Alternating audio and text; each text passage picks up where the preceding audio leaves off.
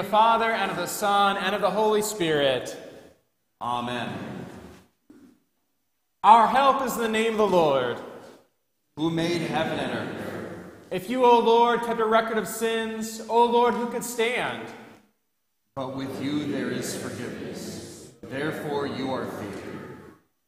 As we are gathered to hear God's word, call upon him in prayer and praise, and receive the body and blood of our Lord Jesus Christ in the fellowship of this altar, let us first consider our unworthiness and confess before God and one another that we have sinned in thought, word, and deed, and that we cannot free ourselves from our sinful condition. Together as his people, let us take refuge in the infinite mercy of God, our Heavenly Father, seeking his grace for the sake of Christ and saying, God be merciful to me, a sinner.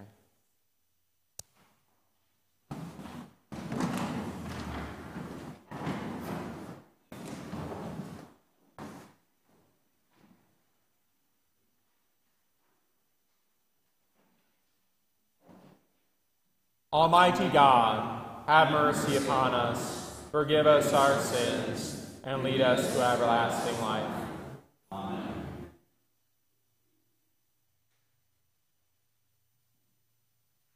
Almighty God, in His mercy, has given His Son to die for you, and for His sake forgives you all your sins. As a called and ordained servant of Christ, and by His authority, I therefore forgive you all your sins.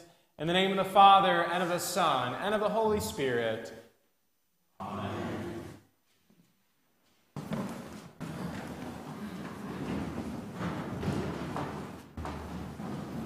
Behold, God is my helper. The Lord is the upholder of my life. He will return the evil to my enemies. In your faithfulness, put an end to them.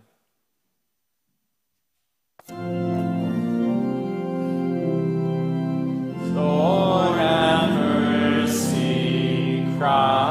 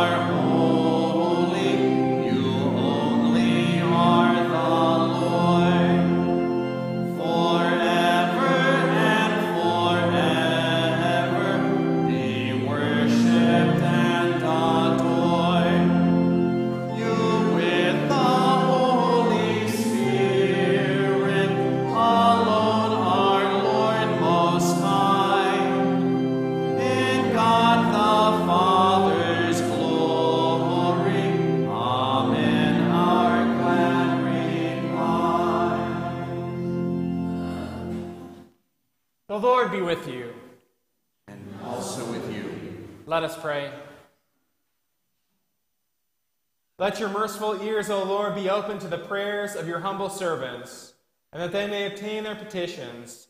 Make them to ask such things as please you. Through Jesus Christ, your Son, our Lord, who lives and reigns with you in the Holy Spirit, one God, now and forever. Amen.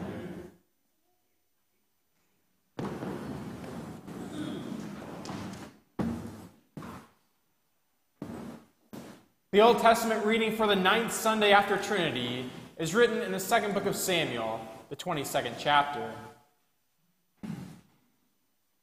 With the merciful, you show yourself merciful. With the blameless man, you show yourself blameless. With the purified, you deal purely. And with the crooked, you make yourself seem tortuous. You save a humble people, but your eyes are on the haughty to bring them down. For you are my lamp, O Lord, and my God lightens my darkness. For by you I can run against a troop, and by my God I can leap over a wall. This God, his way is perfect. The word of the Lord proves true. He is a shield for all those who take refuge in him. For who is God but the Lord? And who is a rock except our God? This God is my strong refuge, and has made my way blameless. He made my feet like the feet of a deer, and set me secure on the heights. This is the word of the Lord. Thanks be to God. The epistle is written in St. Paul's first letter to the Corinthians, the 10th chapter. Now these things took place as examples for us, that we might not desire evil as they did. Do not be idolaters as some of them were. As it is written, the people sat down to eat and drink and rose up to play. We must not indulge in sexual immorality as some of them did, and 23,000 fell in a single day. We must not put Christ to the test as some of them did and were destroyed by serpents nor grumble, as some of them did, and were destroyed by the destroyer. Now these things happened to them as an example, but they are written down for our instruction, on whom the end of the ages has come. Therefore, let anyone who thinks that he stands take heed lest he fall. No temptation has overtaken you that is not common to man. God is faithful, and he will not let you be tempted beyond your ability. But with the temptation, he will also provide the way of escape, that you may be able to endure it. This is the word of the Lord. Thanks be to God.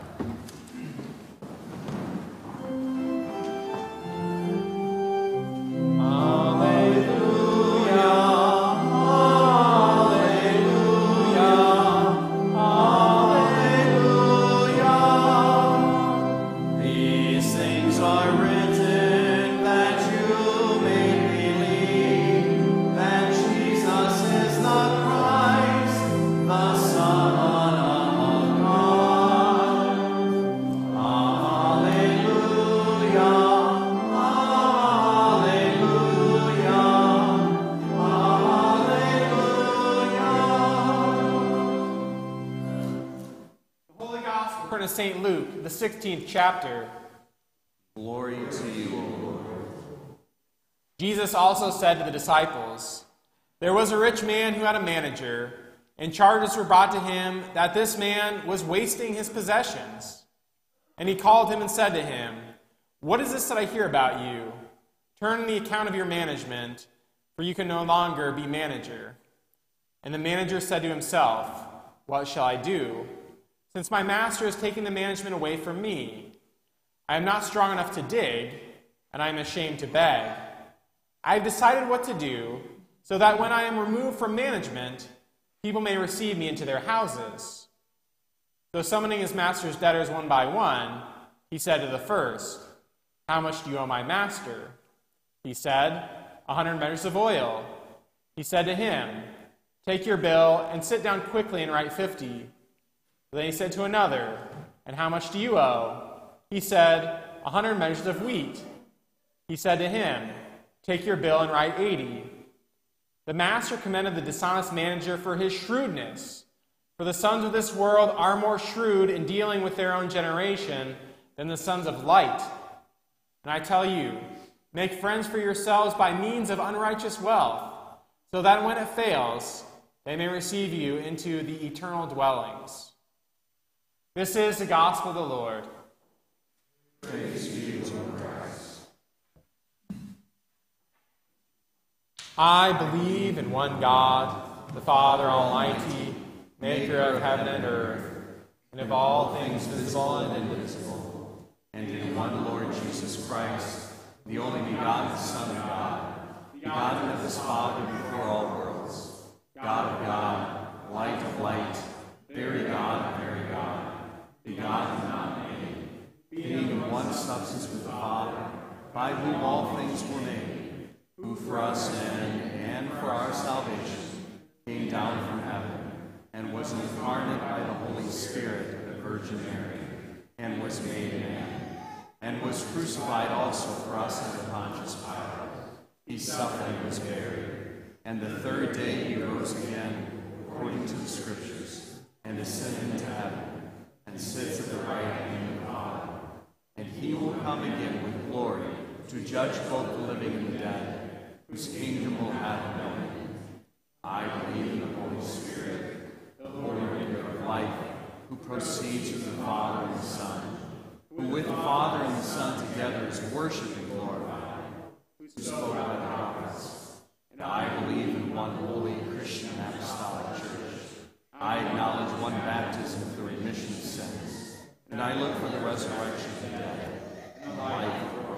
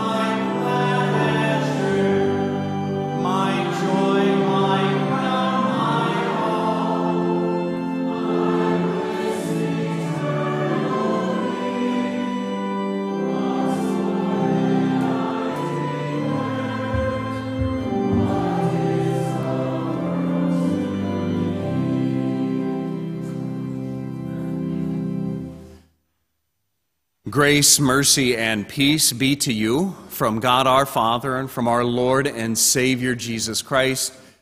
Dear friends in Christ, with the Olympic Games well on their way, perhaps you are consumed with the spirit of competition and the excitement that comes with national pride as we root on the Americans in Tokyo. Or maybe you're not. I don't know. But it is a little strange, I don't think that you would argue, that if you do turn on the television, that you see the stands nearly empty. No one, hardly anyone, is there to push those athletes harder to victory, to cheer them on when they're winning, or maybe even more to the spirit of the games to try to motivate them, encourage them when they're losing. And all of us understand losing. And I would imagine that maybe if you started to think about it, you could count up more times in your mind when you came in second place or third place or last place more than you did coming in first.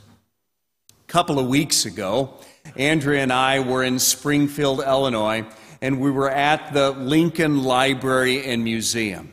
And growing up in Illinois, we got taught a lot about Lincoln.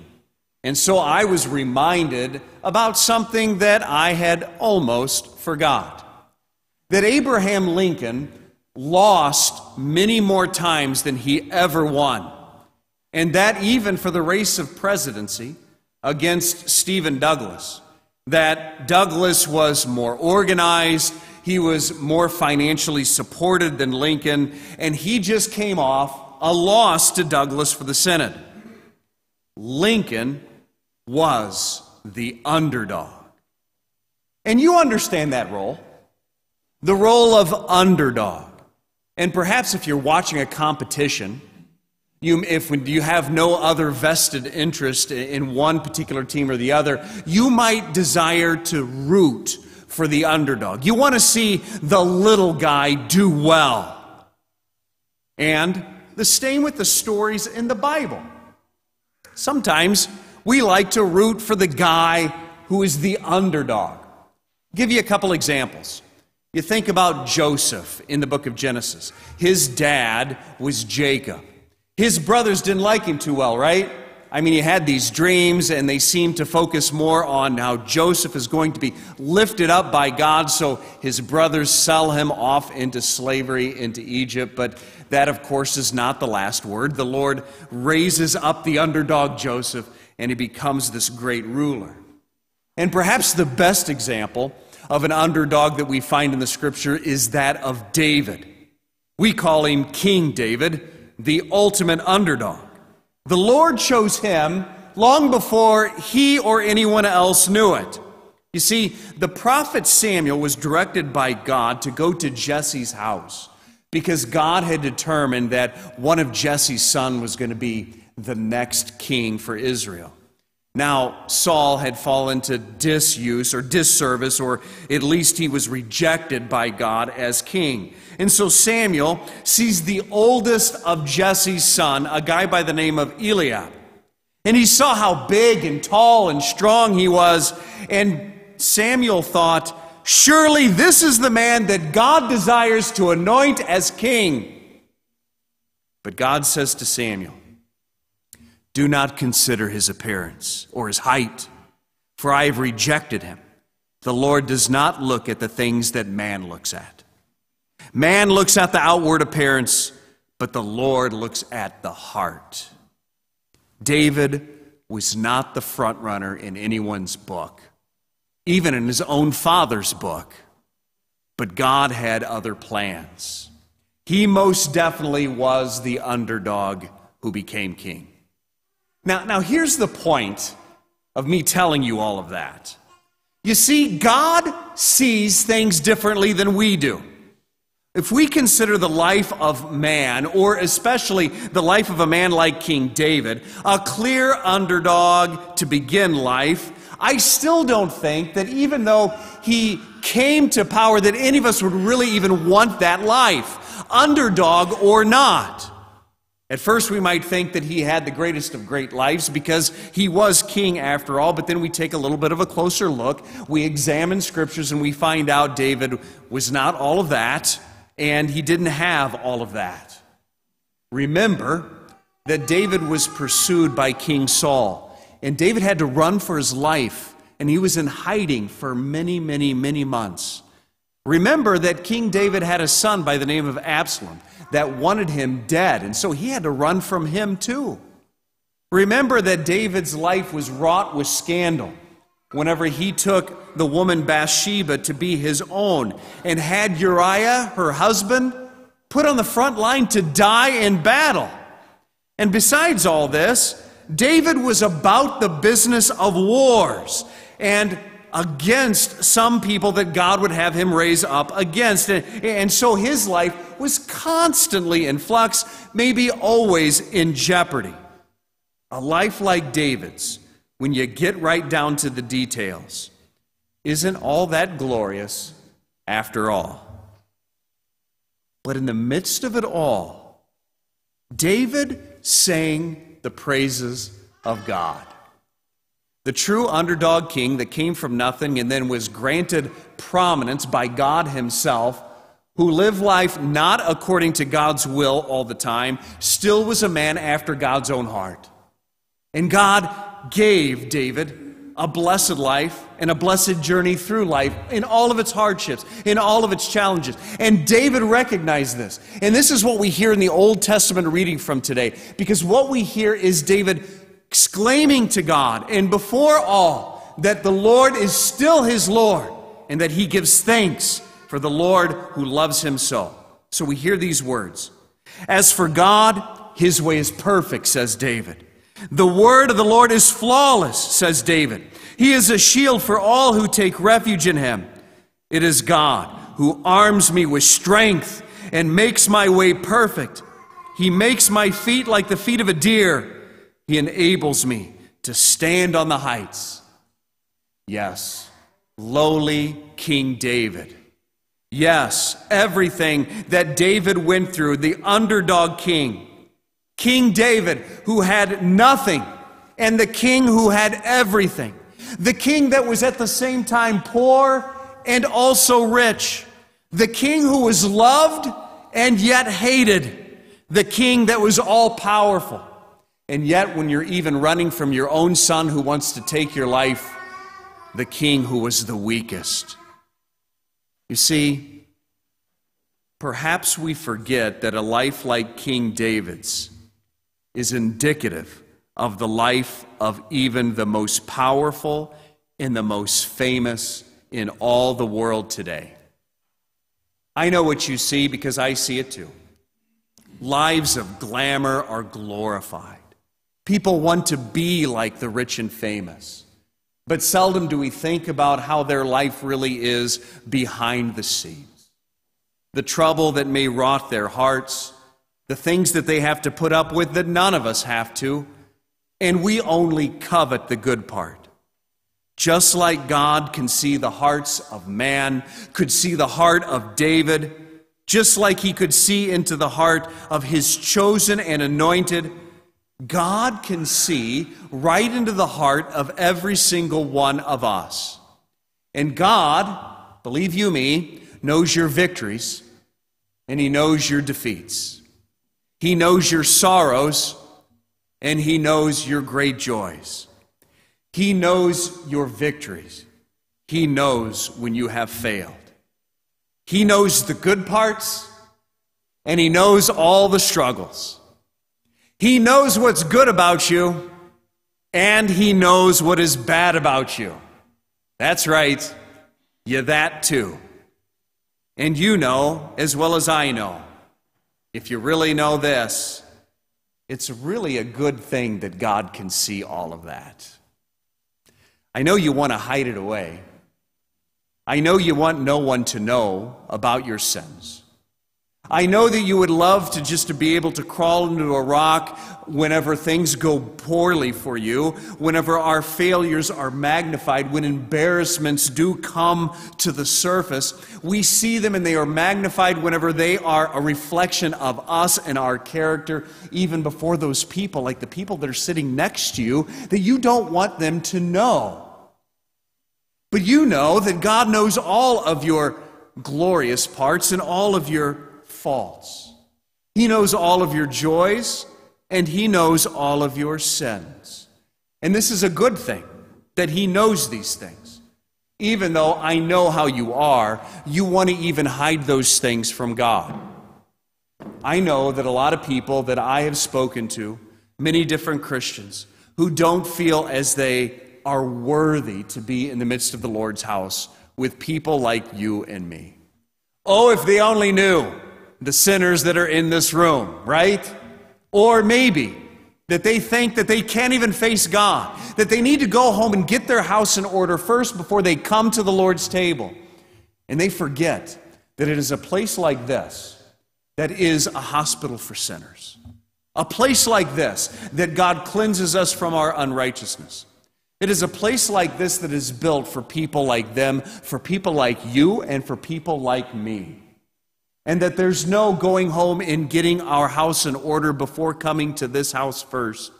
Because this is the first house that we come to in the time of our need, in the time of our sorrows, in the time of our suffering, in the midst of our sins, to come and to repent and to say, The Lord, please cleanse me of all of my unrighteousness, for I need you today. Believe you me, the Lord knows. He knows your heart, and He desires to forgive you of all of your sins. So, no matter how angry we are, maybe about what we have done or somebody has done to us, no matter how angry or upset we are at this world, no matter if it's, it's people, no matter if it's our government, no matter if it's a new mask mandate, no matter what it is in this world, it is nothing compared to what God has given to you. We even sang this this morning in that hymn we just finished. What is this world to me? In the fourth stanza, my Jesus is my treasure, my life, my health, my wealth, my friend, my love, my pleasure, my joy, my crown, my all, my bliss eternally. Once more, then I declare what is this world to me? With Christ, there is something so much more. And in the midst of this place that you're at with other sinners that need the cleansing of God from all unrighteousness, this becomes our little treasure, our little place of heaven, away from the world where God gifts us with what we do not deserve. And this blessed thing really does give us even more than all those superstars have. It gives us more than every underdog than we would ever be able to root for. It gives us a life eternal that we know that we do not deserve, but we have in His blessings. And He has chosen you, beloved in the Lord, to love, to forgive, to be a Christian out in this world, to not hate, but also to come alongside of and be with those who are in danger or in sorrow or in sickness or even in health. We have a king greater than King David the underdog, the, the, the sinner that he was, the, the most loved man that he was. And today, God continues to use humble means to come to you and me today, like bread and wine in communion, like water and holy baptism, through the speech of words to grant us life and forgiveness. And because of all this, that we have this gift, that we are made free and alive to approach the holy throne of God. You see, He has cleansed us from all of our righteousness, no matter what big sins that you have, or no matter how bad you want to hide from God or others. King David says, As for God, His way is perfect. The word of the Lord is flawless. He is a shield for all who take refuge in Him. The underdog needs a Lord. The sinner needs our Lord. And beloved in the Lord, we have him. He is our place, he is our refuge amidst this world and what of it. This is our place to be. This is the place to be for you. So we sing with David in a loud voice, for he has given us his great gifts of life everlasting, God's peace and love rejoice in you. Amen. The peace of God, which passes all understanding, shall keep your hearts and minds in Christ Jesus. Amen.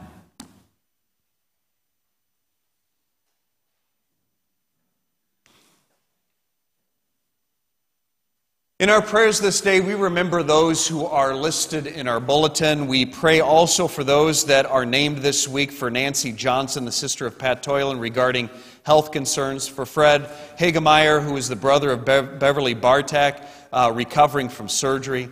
Also, we've been asked to uh, remember in our prayers Karen and Scott Snyder, who's the sister of Kelly Henricks. Uh, both of them are hospitalized with COVID. We also pray for Roger Berkey, who is the brother of Wilma Chandler, who will be having surgery this week. Let us pray for the whole people of God in Christ Jesus and for all people according to their needs. Merciful Father, you show mercy to us poor sinners. Lead us to acknowledge your mercy with gratitude, that in turn we may be quick to show mercy to others and give us a right understanding of our own weaknesses and frailty. Preserve us from pride and lead us instead to cling to Christ and his forgiveness. Lord, in your mercy, hear our prayer. Give us a right fear of you, O Lord, that we would not abandon your truth. Give us a right love of you, O Lord, that we would not that we would fervently show mercy and thereby cover a multitude of sins. Give us a right trust of you, O Lord, that in repentance we would return to our baptism daily, and in faith receive Christ's body and blood in this supper. Lord, in your mercy, uphold our nation and give us good government. Let those with authority not only be shrewd in their dealings, but also act with love, righteousness, and devotion to the common good. Lord, in your mercy, Hear our prayers for the sick and suffering, especially Ron, Paul, Liz, Bradley, Blake, Joyce, Lisa, Brian, Crystal, Rick, Greg, and Oscar, Dorothy, Pat, and Pat, Carrie, as well as Marlene, Karen, Diane, as well as Bernadette, Warren, Karen, Tom, Norma, Greg, and John, Craig and Karen, Bob, Virginia, as well as Nancy, Fred, Karen, and Scott, and Roger, and all those that we name before our hearts. Give them strength to endure their trials until you remove them. Lord, in your mercy, give true repentance and faith to those who commune this day, that they may eat Christ's body and blood for the forgiveness of sins and in the unity of true confession. Lord, in your mercy. Into your hands, O Lord, we commend all for whom we pray, trusting in your mercy. Through Jesus Christ, your Son. Amen.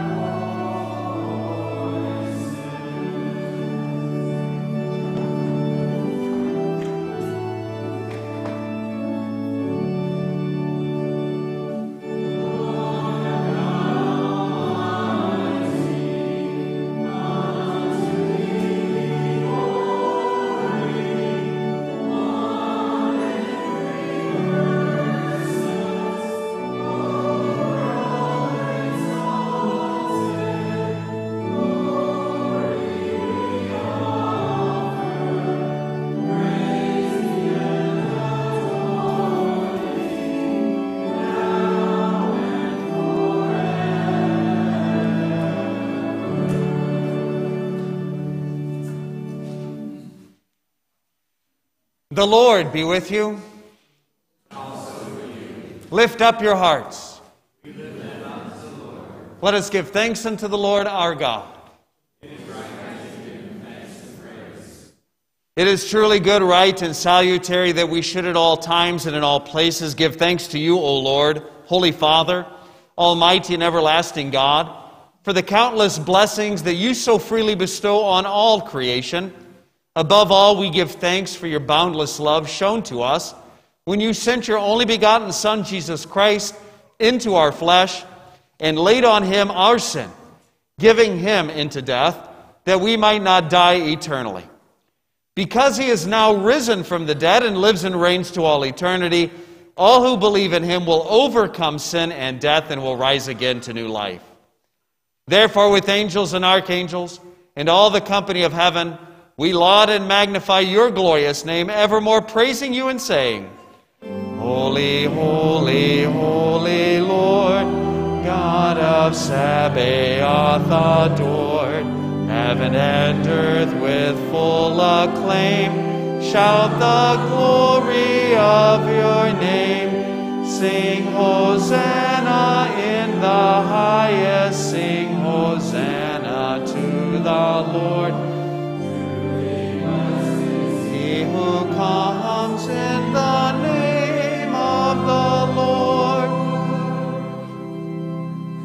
Blessed are you, O Lord our God, King of all creation, for you have had mercy on us and given your only begotten Son, that whoever believes in him should not perish but have eternal life.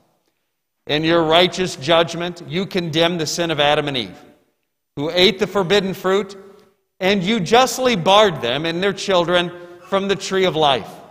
Yet in your great mercy, you promised salvation by a second Adam, your Son, Jesus Christ our Lord and made his cross a life giving tree for all who trust in him. We give you thanks for the redemption that you have prepared for us through Jesus Christ. Grant us your Holy Spirit that we may faithfully eat and drink of the fruits of the cross and receive the blessings of forgiveness, life, and salvation that come to us in his body and blood. Hear us as we pray in his name and as he has taught us. Our Father, who art in heaven, hallowed be thy name. Thy kingdom come, thy will be done, on earth as it is in heaven. Give us this day our daily bread, and forgive us our trespasses, as we forgive those who trespass against us. And lead us not into temptation, but deliver us from evil.